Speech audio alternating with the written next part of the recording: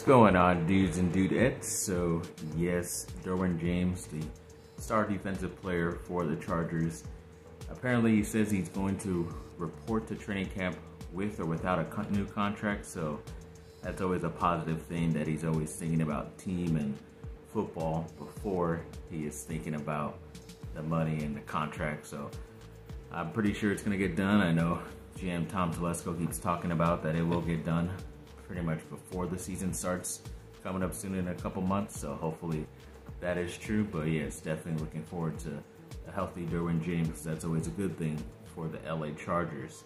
And the Lakers signed two players, one that I said that they probably were going to sign. First one is Javante McCoy, who was like the 6'5-ish type of point guard, shooting guard. They signed him, and then also Fabian White Jr., who didn't really play all that much and all that well. His stats are pretty low during summer league, but he does have, you know, really interesting measurables. Six eight, very athletic. Got better at shooting the three as well. So these both both of these guys are on Exhibit 10 contracts. I don't I don't remember exactly what that meant and which like meant how long it, they would be on the team for and how long they are contracted for with the Lakers if they're just you know guys to come in during training camp to try to make the team, or if they're already going to be in the South Bay, the developmental G League.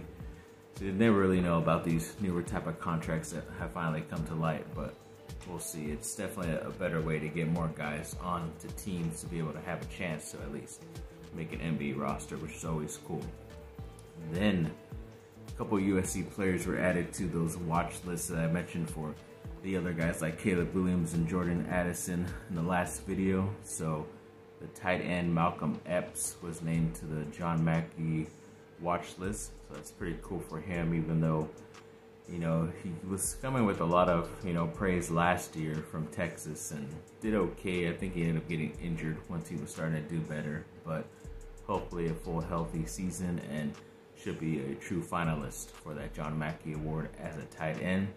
And then also for a Rimington watch list from USC is the center Brett Neilon, who I've had an up and down relationship with because he was a very highly talented guy coming out of high school. And I don't know, ever since he got the start at center, he's never really been the best guy in my opinion. I know there was a guy who came after him, or yeah, came right after him in the next recruiting class, and Justin Dedich, who I always thought was better who they're actually getting some more playing time on like the guard position on the offensive line. So they're at least using him because they know how good and versatile he is. But for some reason, they won't give him the starting center job, which I don't understand. But, you know, at least he's still sticking around and not jumping ship to another school and trying to play for them to get, you know, his playing time in. So definitely happy about that. Then the Chargers signed a player from the USFL, which was like a like a pretty much a random league that was playing the past couple months for a couple ex NFL guys, CFL guys were all joining in. It's weird because they have that now, the XFL that Dwayne Johnson is going to be running pretty soon. I think that might be next year.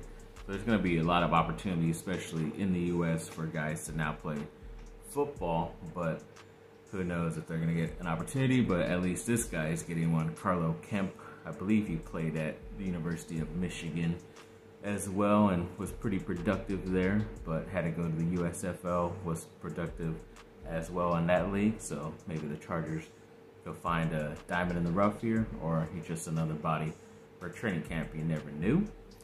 Then when it comes to, yes, remember I mentioned Peyton Manning and Eli Manning's nephew Arch Manning the last video. Well, apparently I'm not the only one that has been thinking lesser of him. ESPN's recruiting has also decided to not have him as the number one overall quarterback on their system. And now they've jumped up USC's quarterback coming in 2023, Malachi Nelson, is now their number one overall quarterback in that class, which just the first time I'm gonna fall because I know there's other uh, recruiting sites On3 and 247, some other stuff like that that still have Manning as number one, but they said one of the big indicators is why they jumped up Nelson was because he was playing in seven on seven tournaments, went into the Elite 11 that the NFL Network does to get the top, you know, 20 best quarterbacks in the nation to duke it out have a competition, and then whoever wins that competition ends up being usually one of the better quarterbacks out of the group. But Manning never went to that. He didn't do any seven on seven, uh, you know, out of, out of the when they were out of school or out of playing the sport. So I don't know why he didn't do it. Maybe he just thinks that name alone and he's gonna have a gigantic year.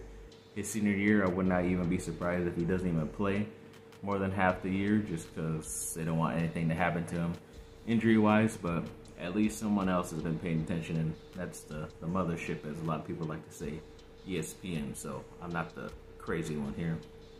Then Duke finally got their first round opponent in the Phil Knight Classic that they're going to be playing up there in Portland, Oregon. It's a nice little mini tournament of the teams like Florida, Gonzaga, Purdue, but they drew Oregon State in the first round. It's pretty nice because Duke could beat them and should beat them. Then the next round they get, I think it's Florida or Xavier, one of those. So you can still have a good opponent in the second round. And then if all things go true, it should be Duke and Gonzaga in the final or Duke and Purdue. Either way, it should be a good final in the end for the Phil Knight Classic. So definitely looking forward to that. A nice little mini tournament for Duke to get them ready for the big time March Madness tournament. Then when it comes to, yes, this crazy little thing I saw on Twitter that said, what if the Nets just messed everything up and ended up asking for LeBron?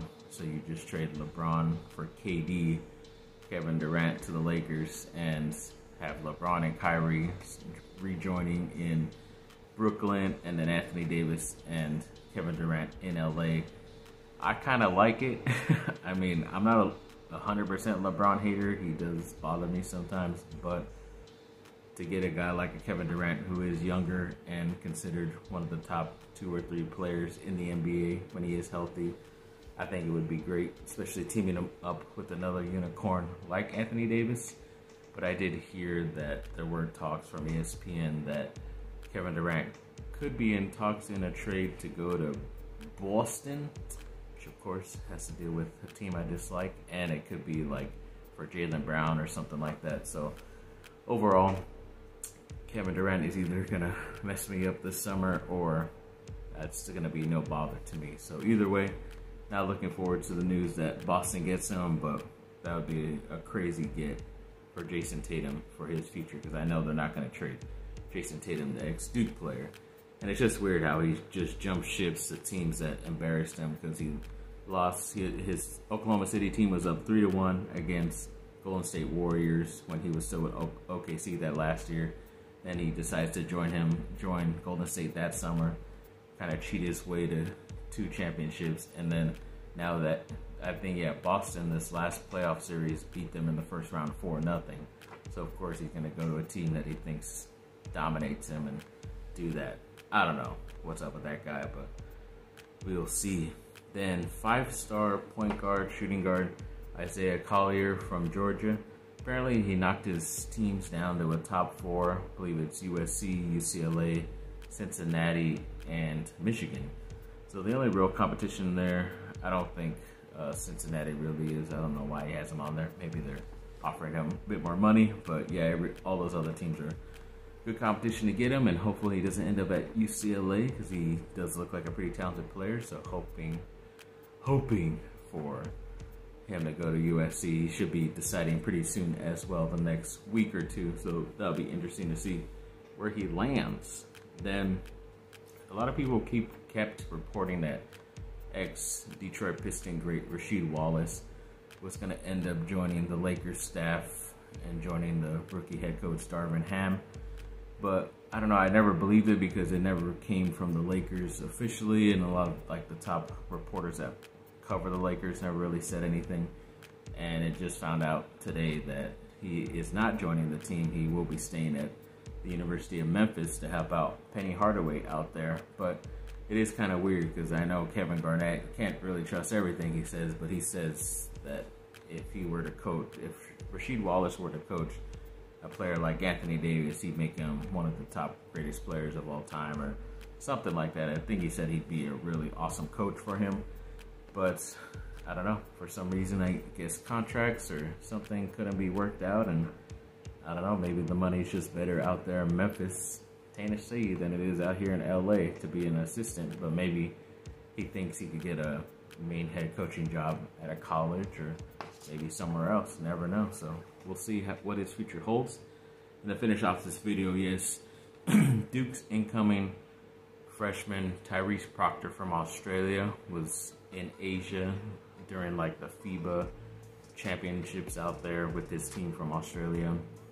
And they were able to win the championship out there for their country, um, the Asia Cup or something like that they were playing in. So that's pretty good for him. I know he wasn't throwing up the best stats overall, but he was still playing out there and showing the good he can do.